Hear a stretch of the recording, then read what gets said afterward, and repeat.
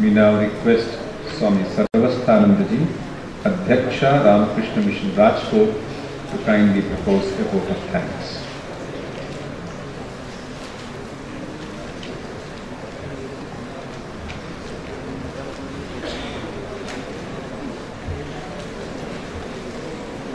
on behalf of Ramakrishna Mission Vivekananda Memorial.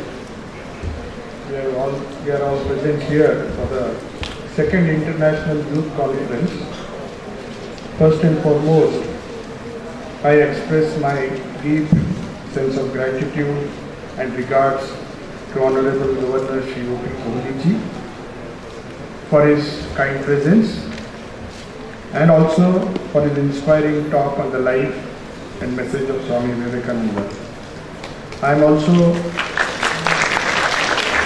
grateful to the Honorable Minister of Finance, Shri Saurabh Patel, for his kind presence and also his talk on the socio-economic as well as skill, life skill empowerment of the youth, especially of Gujarat state.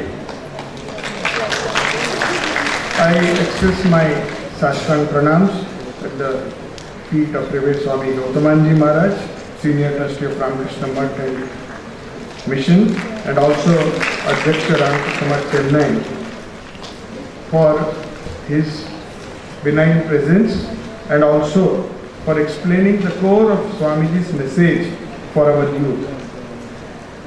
I also express my gratitude, deep sense of gratitude to Venerable Imam Abdul Malik Mujahid, Chairman of the Parliament of World Religions, Chicago, for his kind presence, not only to inspire the youth today, but also yesterday in the pre-parliament held here for the first time in India. I also convey my heartfelt gratitude and thanks and regards to Sri Bharat Bhai Shah, Mayor of Vadodara, Sri Bharat Bhai Dangar, President of BJP Vadodara City, District Collector Avantika Singh, Municipal Commissioner Mr. Patel, and last but not the least, Shri Jayesh Shah for helping us to organize these two functions, especially the pre-parliament in the historic city of Vadodara. I also take this opportunity to thank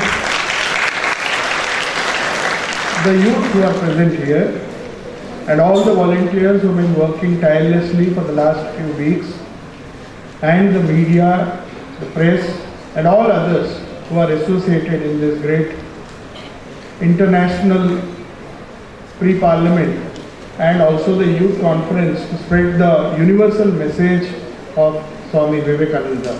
I express my thanks and gratitude to all of them. Thank you.